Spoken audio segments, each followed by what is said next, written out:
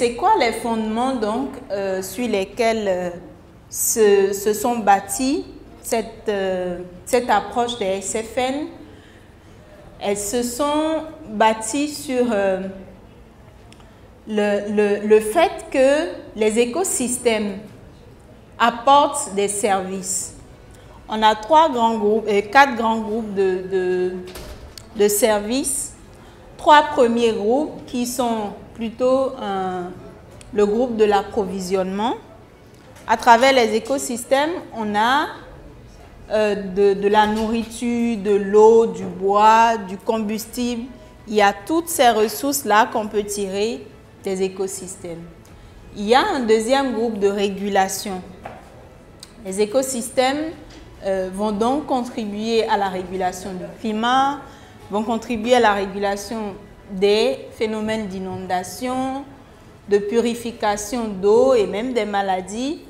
Et un troisième groupe qui est plutôt euh, sur des services d'esthétique, de, de, spiritualité, d'éducation, de loisirs, tous ces services-là qu'on peut retrouver à travers nos différents écosystèmes. Et enfin, un quatrième groupe de services qui contribuent à auto-entretenir vraiment euh, les écosystèmes.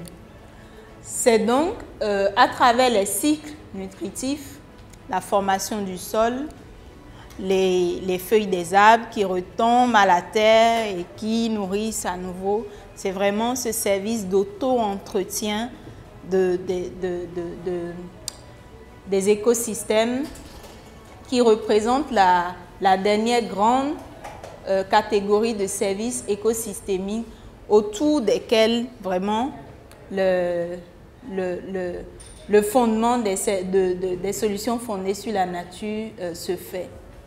Et à cela, on associe le fait que ces services écosystémiques-là vont procurer un certain bien-être aux humains. À travers quoi?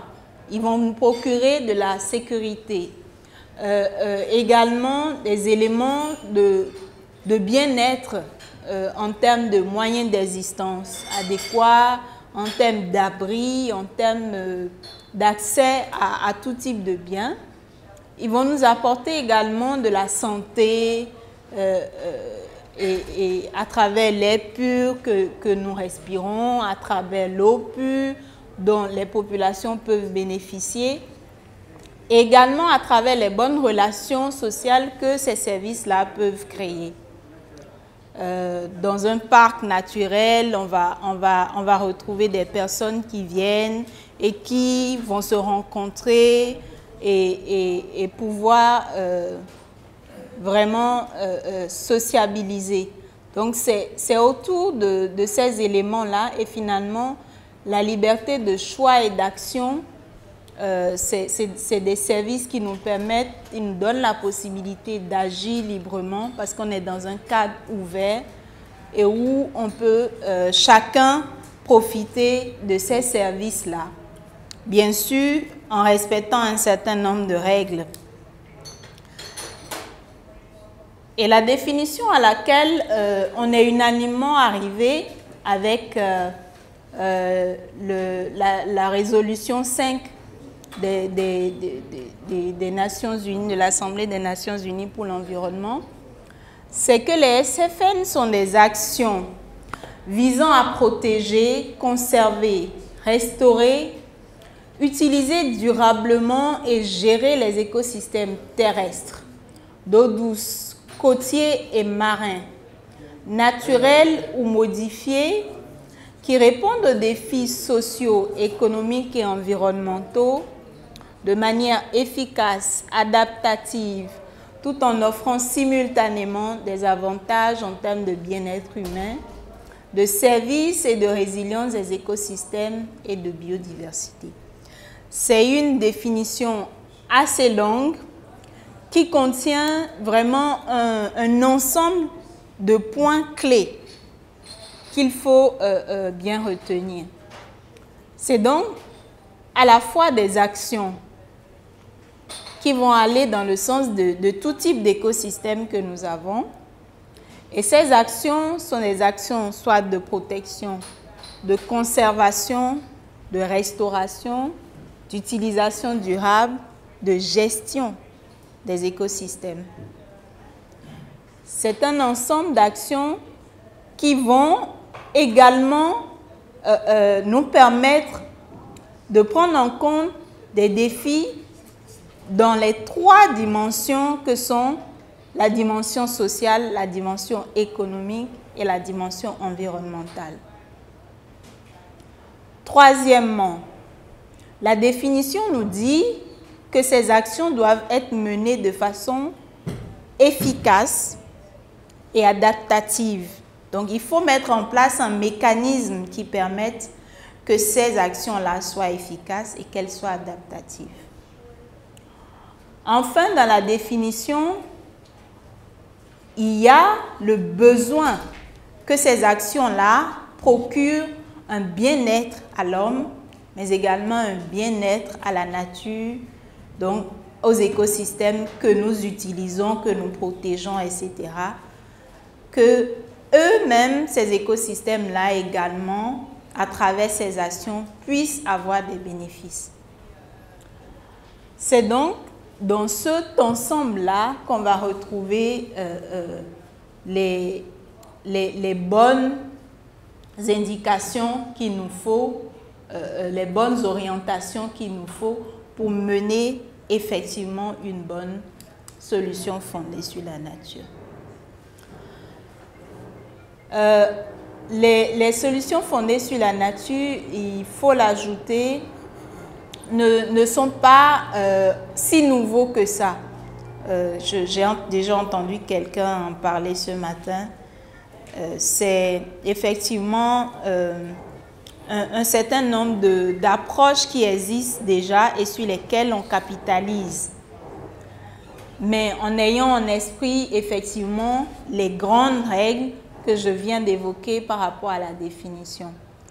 Mais ces solutions sont donc comme un, euh, parapluie où on va retrouver euh, à la fois des actions de restauration des écosystèmes, mais également d'autres actions comme les, solutions d'adaptation basées sur les écosystèmes, comme les solutions euh, d'infrastructures vertes, comme on a l'habitude d'en parler, euh, on a également les, actions de gestion des écosystèmes ou même de protection à travers la création d'aires protégées communautaires, etc. Tout cela pour contribuer donc euh, aux, grands objectifs de développement durable qui, sont là et qui euh, ont on va être bien d'accord sur ce point, euh, vont être atteints non pas en, travaillant sur les trois sphères de façon séparée. Euh, l'approche des SFN, c'est d'arriver à faire travailler les trois dimensions sociales, économiques et environnementales à la fois. J'en parlerai un peu plus tard mais le, ce qu'il faut essentiellement retenir, c'est que les, les SFN, c'est vraiment un, projet de territoire. C'est ce qui fait la différence et, et, et, peut-être que je ne l'ai pas mis ici par rapport aux solutions douces. La différence, c'est vraiment euh, par rapport au projet de territoire. La solution douce va aller pour répondre à un besoin euh, spécifique sans prendre en compte tout le territoire et euh, euh, tout ce qu'il faut mener comme différentes mesures d'accompagnement dans l'esprit de la résolution d'un même problème. L'autre chose qu'il faut retenir ici, c'est que les solutions fondées sur la nature sont un concept qui ne sont pas spécifiques aux, zones côtières. C'est des solutions qui vont s'appliquer dans tous les types d'écosystèmes. Dans tous les types d'écosystèmes, il y a des solutions fondées sur la nature qui peuvent s'adapter. Dans les milieux forestiers, on va avoir par exemple la restauration euh, des écosystèmes forestiers et qui va rester dans un esprit vraiment de, par exemple, de, purification de, l'eau au niveau des bassins versants. Euh, on peut avoir également dans les milieux urbains, euh, par rapport à, la gestion des, inondations et, de l'eau pluviale, par rapport au stress euh, hydrique qu'on peut avoir dans les zones urbaines. Et puis dans le milieu agricole également, il y a des possibilités de mener ce type d'intervention. Et enfin, pour ce qui nous concerne un peu plus, dans le milieu littoral, où on va avoir divers exemples de solutions pour en particulier contrer les risques côtiers, mais bien sûr avec des co-bénéfices qui sont liés à euh, la communauté, à, l'amélioration des conditions des communautés et à l'amélioration des, conditions économiques. Alors, sur les définitions, il y a trois exemples qui sont là. On a les solutions fondées sur la nature en elle-même, ici avec une image euh, typiquement avec des mangroves qui, qui vous le voyez, protègent bien tout ce qui est euh, bâti au-delà.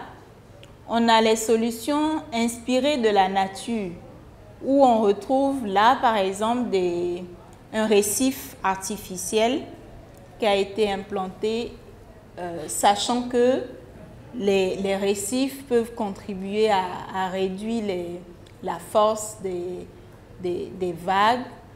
Euh, on, imite un peu la nature et c'est en cela qu'on appelle ces solutions-là des solutions inspirées de la nature.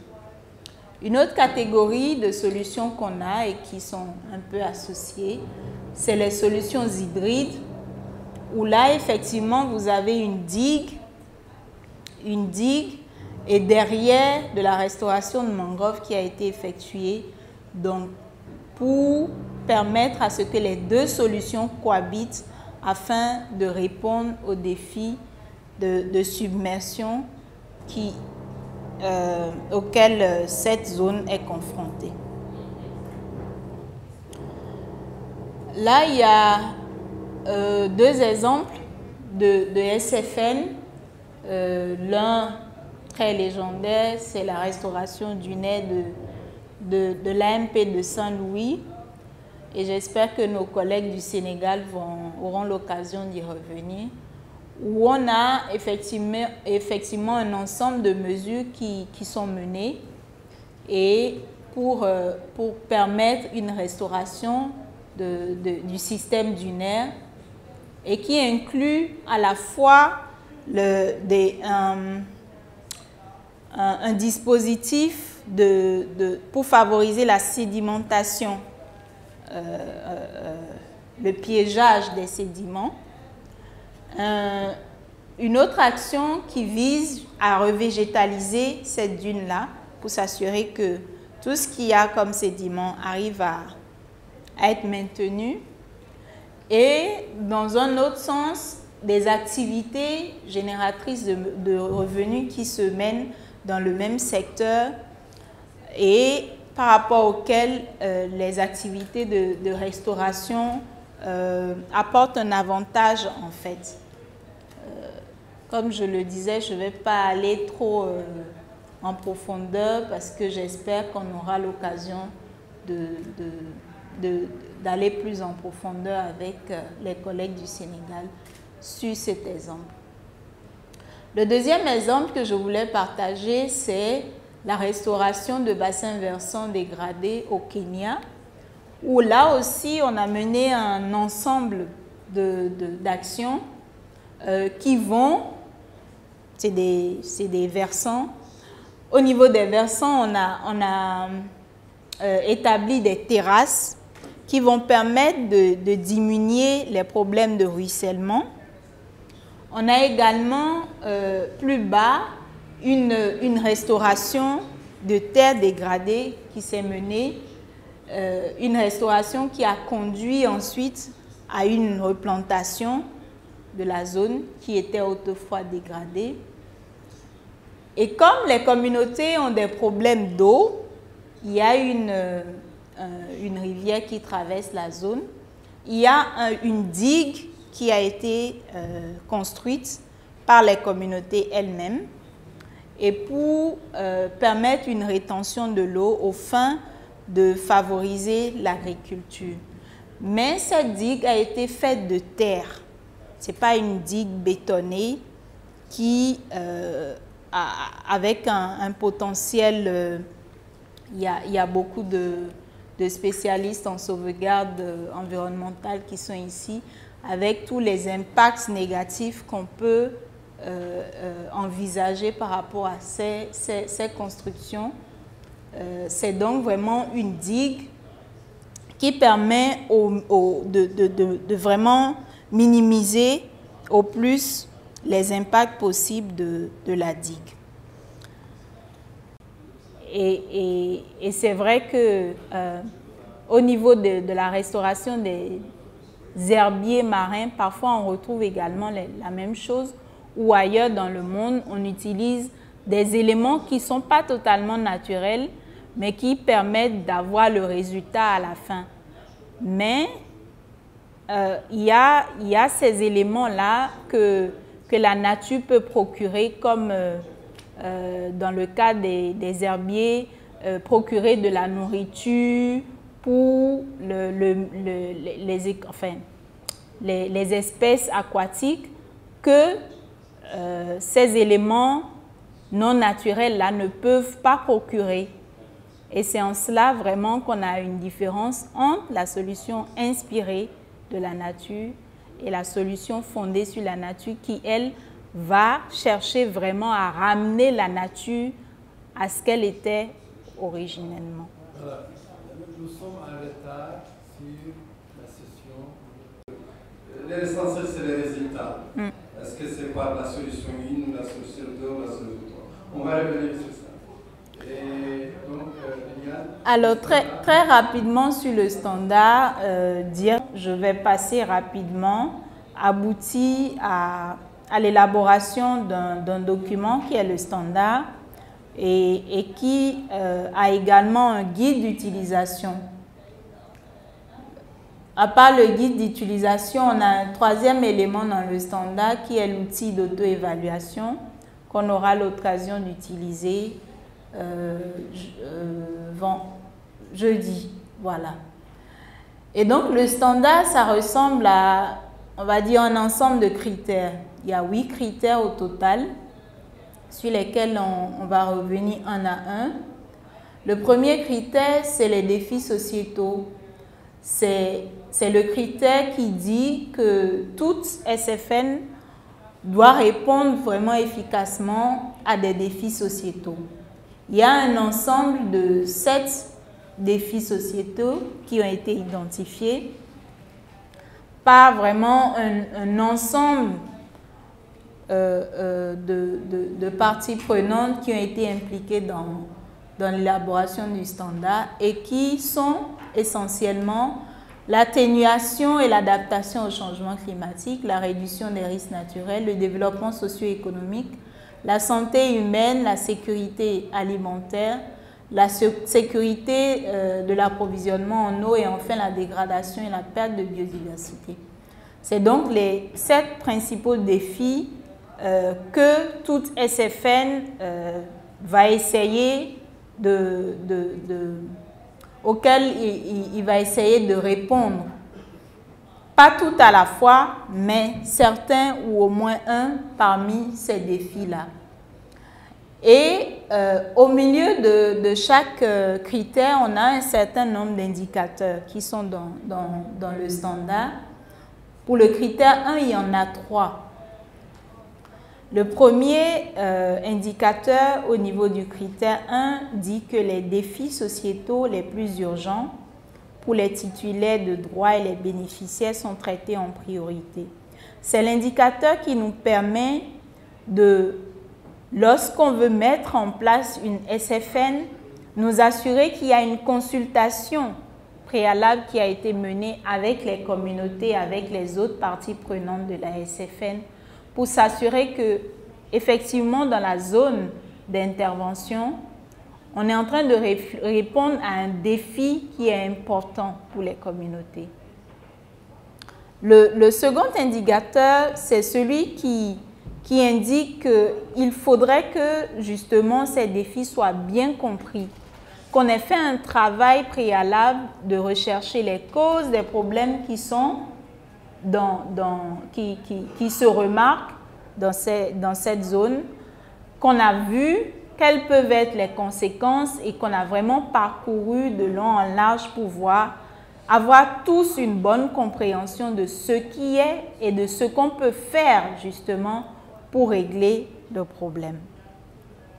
Le troisième indicateur euh, dit que les effets sur le bien-être qui émanent de la SFN ont été identifiés, comparés et régulièrement évalués.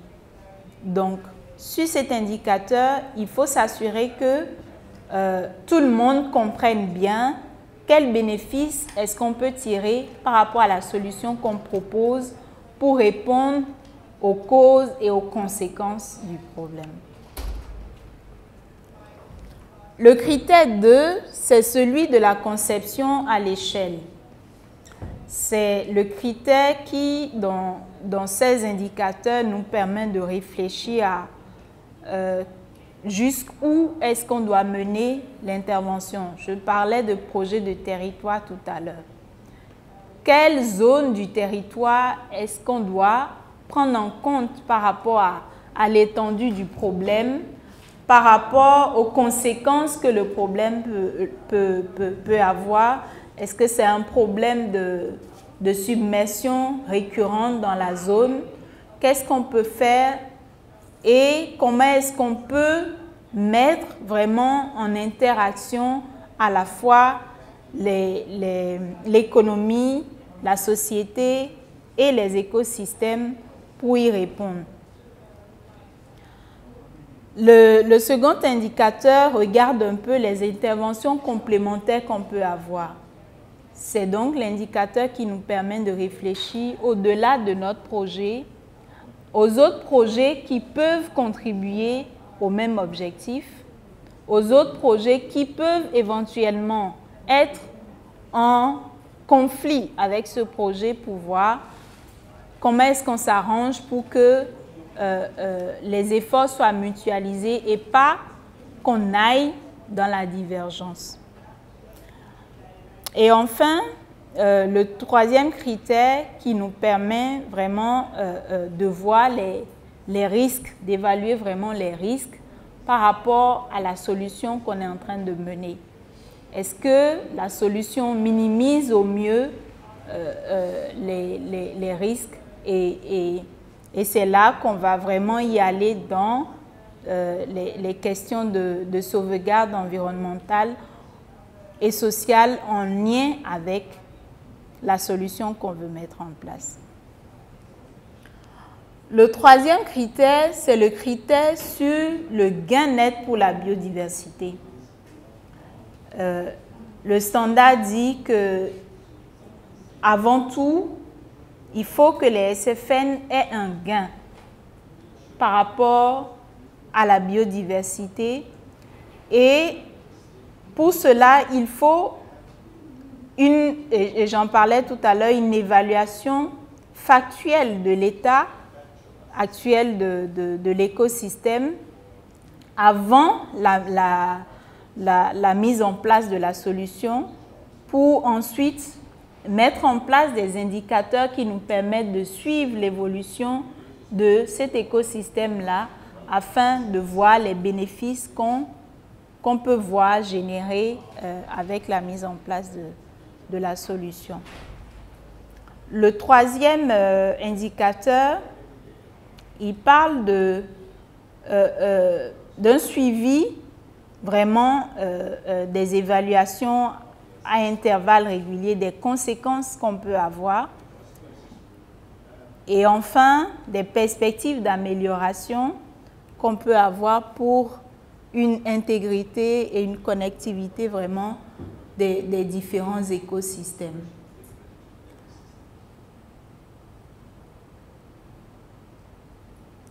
Le quatrième critère est celui qui est associé à la viabilité économique. Et c'est le critère où on a le plus de difficultés en général avec les solutions fondées sur la nature. C'est le critère où on doit s'assurer qu'en fait, euh, la solution apporte un bénéfice, que la solution puisse euh, être durable économiquement et qui ait finalement un portefeuille d'options pour continuer à, financer ou à autofinancer dans le temps cette solution-là. Et cela est lié au quatrième indicateur que je, que, je vois affiché là. Transparent et habilitant.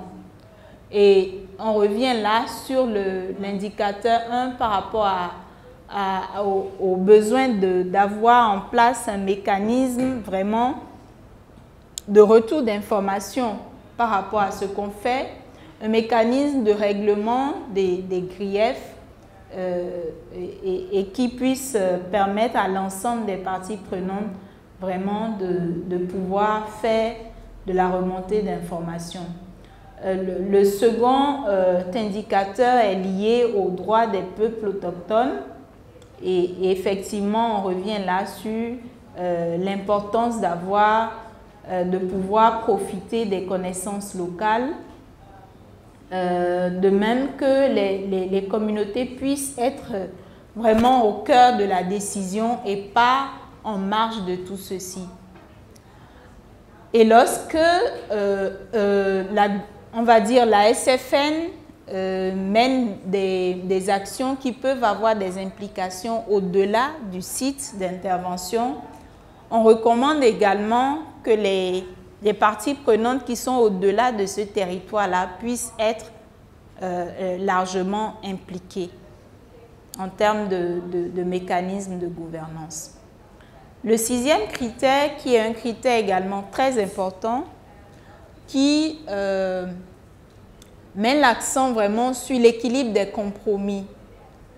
L'équilibre des compromis, c'est un peu une balance dans laquelle on va mettre d'un côté, les bénéfices qu'on souhaite avoir directement par rapport à la mise en place de notre solution, une solution pour régler un problème d'érosion ou un problème de submersion ou un problème de, pollution, de chaleur extrême dans nos villes, etc.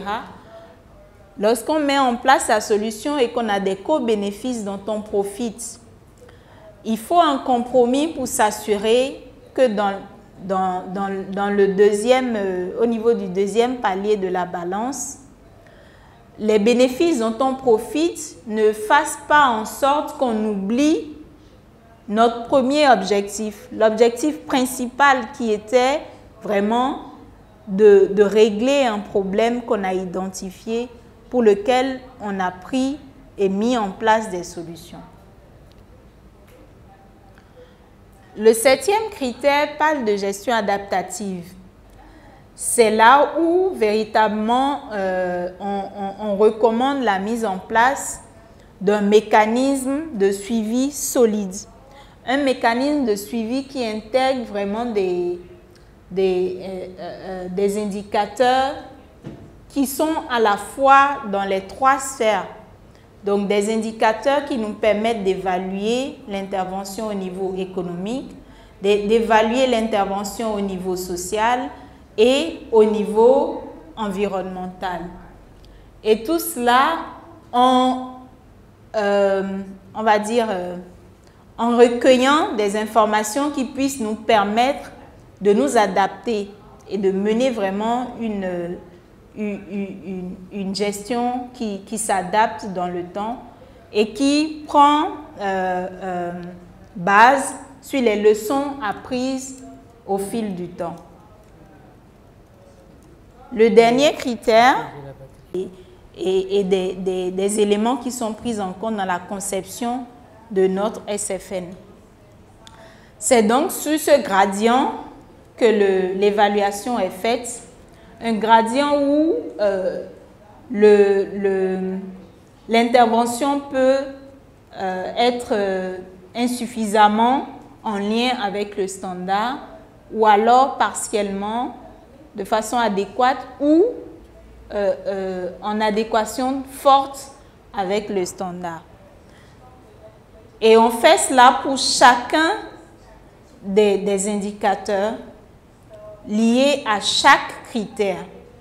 Et ce travail-là nous mène finalement à avoir une vue d'ensemble qui se présente comme ceci et comme un, graphe euh, en araignée euh, avec les, huit critères et qui nous permet vraiment de, voir euh, les critères sur lesquels on a un bon score, ceux sur lesquels on a un mauvais score et nous oriente donc sur les éléments à améliorer, les, éléments à ajuster pour tendre vraiment vers une, bonne solution. Voilà pour ce qui est du, standard et, on aura l'occasion euh, jeudi de,